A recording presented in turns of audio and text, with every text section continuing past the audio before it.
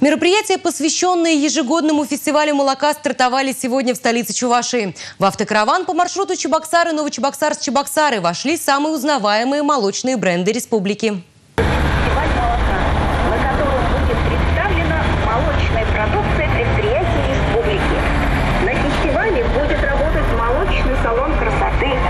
Автомобили с символикой предприятий, производящих молоко и производные продукты, проехали сегодня в кортеже по Чебоксарским и Новочебоксарским улицам. На протяжении всего маршрута радиоведущие подробно рассказывали о полезных свойствах молока и о том, что из него можно сделать. Официальное открытие фестиваля состоится 24 сентября в 11 часов в Ледовом дворце Чебоксары-Арена. С 8 утра гостей ждут конкурсы, мастер-классы по особой косметологии и детскому прикладному творчеству. Развернет свою работу мобильный центр здоровья. Также можно будет покататься на коньках и насладиться концертно-развлекательной программой. И, конечно же, все это будет сопровождаться дегустацией любимых молочных напитков.